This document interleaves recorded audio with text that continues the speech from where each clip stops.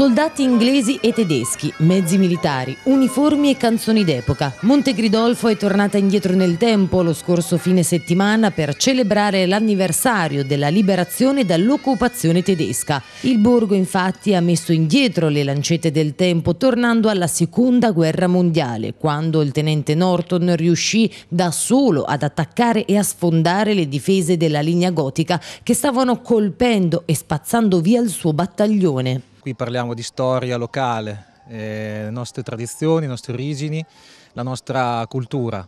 E mm, la liberazione di Monte Ridolfo per noi è una data molto sentita e la vogliamo condividere con tutti.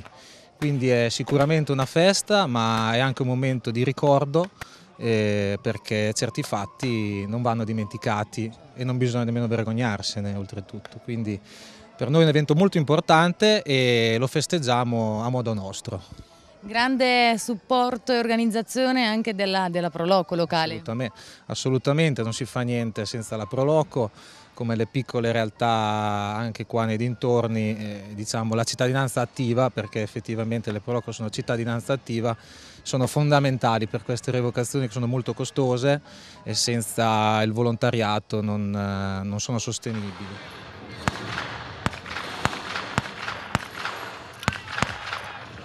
Il piccolo borgo situato fra due valli, quella del Conca sul versante romagnolo e quella del Foglia sul versante marchigiano, ha fatto fare ai presenti un tuffo nel passato con mestieri e foto d'epoca, una trebbiatrice degli anni 40 lunga 20 metri, accampamenti e un carro armato in azione, un semovente Sexton britannico acceso e messo in moto lungo la via.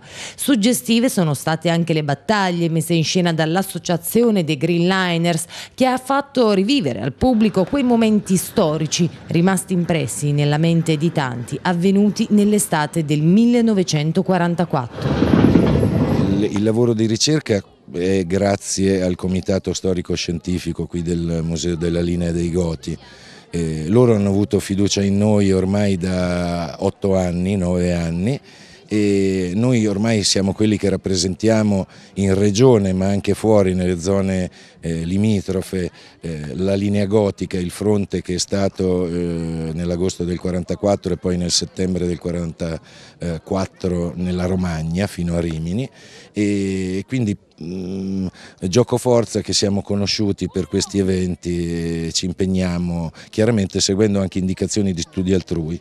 Quest'anno ho proposto con successo una rivisitazione della, della narrazione in chiave più cinematografica oppure per gli appassionati dei vecchi fumetti di guerra un po' più fumettistica per intenderci e spero che sia una cosa nuova che piace al pubblico. Hey!